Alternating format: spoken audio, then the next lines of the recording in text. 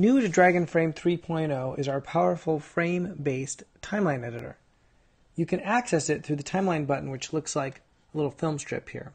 So I'm going to click on that. And now you can see that there's a series of frames that I can scrub through. This is what I've shot already. Got 11 frames here. And at the end, the last frame is actually our live, which is represented by this uh, camera icon. So that's our live view frame. I've actually mixed up the order here at the end so I can show you how the editing works by putting it back together. If I hit play, you'll see there's a little glitch there at the end. I've swapped frames 11 and 10. And the way you move frames in the timeline editor is to select it and lift up and slide it over. And you can either overwrite, that's the big red X, or you can insert. Okay, in this case we're going to insert. So there we go, we've inserted that frame.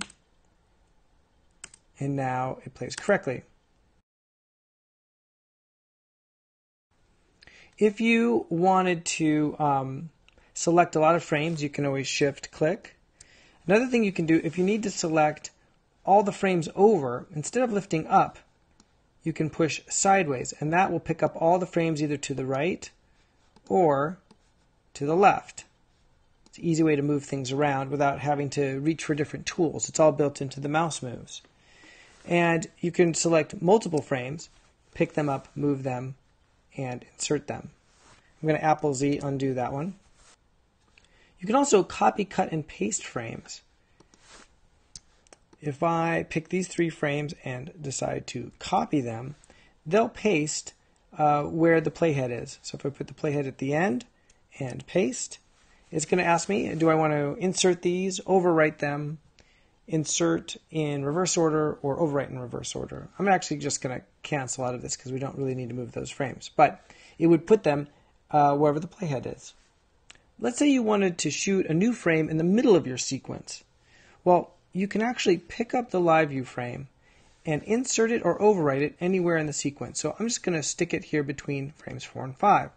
Now, when I play back, there'll be a little glitch because it's going to show me the live view at frame 5.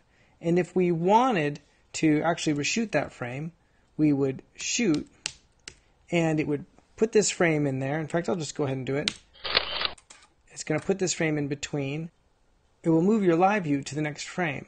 If you don't want to keep inserting frames, then you can option click and say return camera to the end, and it takes it to the end. If you just want to replace a frame, uh, in fact, I'm going to get rid of that one. I'm going to hit delete. There it goes. It's gone. I've deleted that frame out of the middle. If you wanted to overwrite a frame, if we wanted to actually get rid of frame 5, I could overwrite. And this does something different when I shoot. Now when I shoot, it's going to shoot the frame and actually automatically take the live view to the end. Okay, now I could undo this, but I'm going to show you something else. Um, we have a very cool new thing called the delete bin.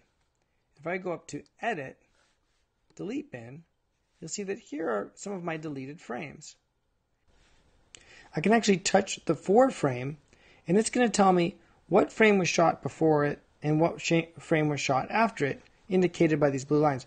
This is telling me that this frame right here was after it, and this is what really goes on 5. So I'm just going to pick it up and overwrite it.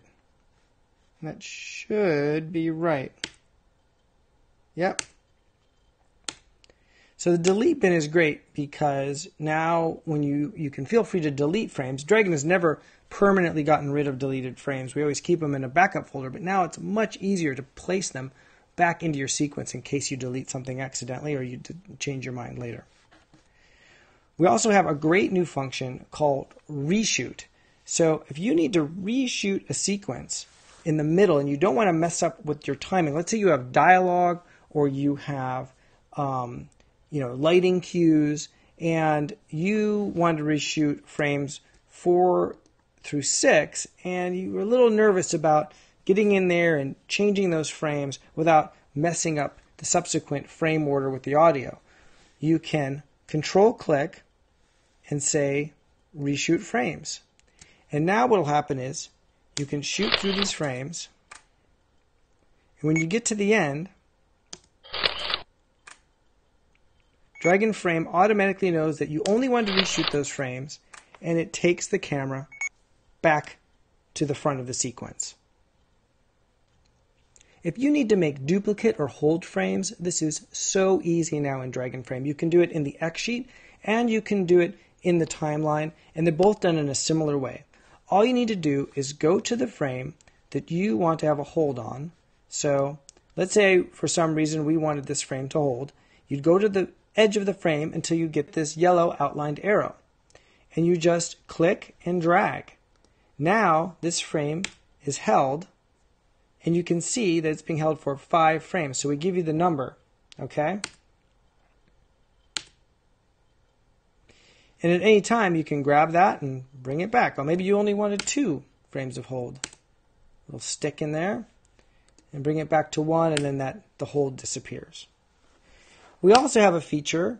Uh, let's say we wanted to speed up the scene and we were going to take out frames, frame four, but you weren't sure that you wanted to delete it yet you can hide the frame. You do that by either control clicking it and saying hide frames, or you can go over here to this um, blue button that is your hide button. And now that frame is hidden and is represented by this blue line. Now if I play, it just plays right over that frame 4.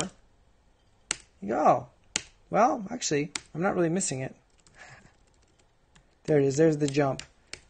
If you wanted to, again, um, hide the next frame, you can go ahead and hide it. And now you'll see there's two little bumps in here indicating that there's two hidden frames in that spot. That speeds that up quite a bit. If you want to unhide them, select the hidden area and hit the hide button and it unhides them. Now those are the basics of our frame-based timeline editor. But let me tell you what's going on in the background here. In the old version of Dragon stop motion, we would be actually making all of these changes on the fly in the background and changing them in your master file folder. So if you deleted a frame, it would actually delete it out of the folder. If you uh, copied frames, we would be copying them in the folder. So during this demo, all these edits that we've been making, instead of actually moving the files around in your master folder, we've been keeping track of an EDL. Now you can do all the export functions as normal. You can export QuickTimes, you can export image sequences. But if you want your master files to look exactly the same, in the same order as what you're seeing in your timeline, you need to conform the scene.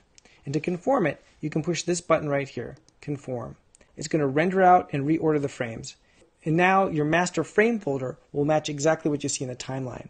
This is how Dragon Stop Motion worked, and if you like that working style, then you're going to want to hit that conform button every time you do an edit or every time you're done with a take.